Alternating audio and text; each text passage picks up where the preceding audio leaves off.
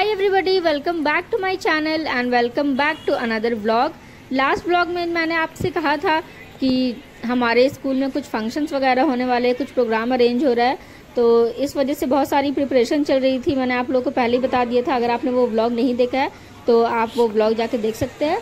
तो एक्चुअली में ना चिल्ड्रन फेयर की तैयारी चल रही थी फोर्टीन नवंबर था, और चिल्ड्रंस डे है, आप लोगों को पता ही होगा, सारे बच्चों को हैप्पी चिल्ड्रंस डे तो बस वही तैयारियाँ चल रही थी।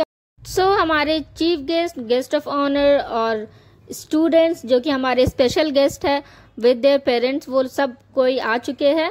और यहाँ पे बहुत सारी चीज़ों की इंतज़ाम की गई है like food stalls and rides तो वीडियो में बहुत ही ज़्यादा मज़ा आने वाला है। Good morning our honourable chief guest S D of electricity department Lalji Babu Guest of honor Moinuddin Ansari and Mukhtar Alam sir.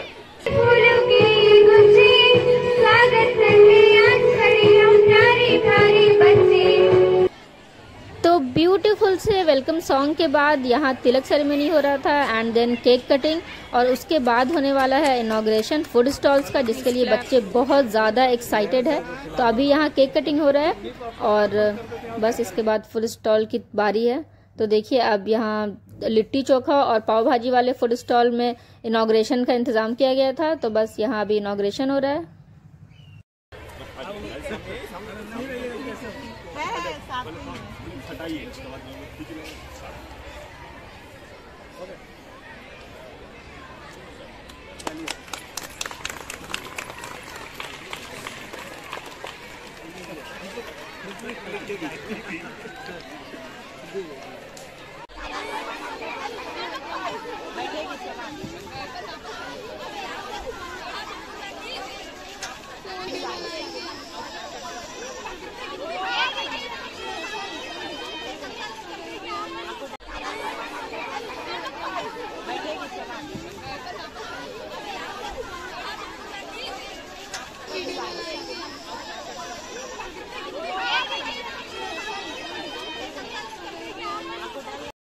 तो बस अभी हमने थोड़ा सा ग्राउंड घूमा और घूम फिरने के बाद हमने सोचा चलो अब थोड़ी पेट पूजा की जाए। तो हम आ गए हैं फ़ूड स्टॉल की तरफ़।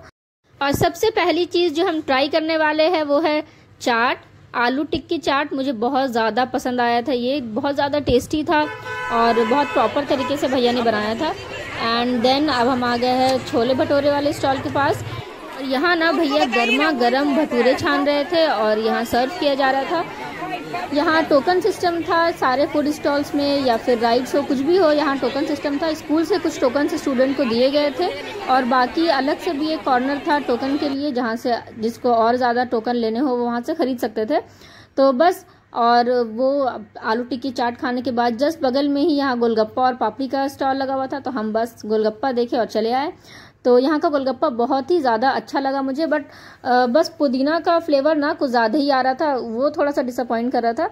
और फिर हम आ गए मोमोज के स्टॉल में, और ये वेज मोमोज था बट मोमोज की फीलिंग मुझे अच्छी नहीं लगी। चटनी बहुत ज़्यादा यम था, और फिर हम पापड़ी खाए, और बस और भी बहुत सारी चीज़ें हम खाए बट अनफॉर्चुनेटली मैं रिकॉर्ड करना भूल गई। अगर मैं आपको बताऊँ तो 15 टू 17 स्टॉल्स अप्रॉक्स लगे हुए थे। मुझे तो उस दिन बहुत ही ज़्यादा मज़ा आया। आपको वीडियो देखने में कैसा लगा कमेंट सेक्शन में ज़रूर बताइएगा। और अगर चैनल पर न्यू है then please do like share and subscribe to my channel मिलते हैं हम नेक्स्ट वीडियो में। Children bye take care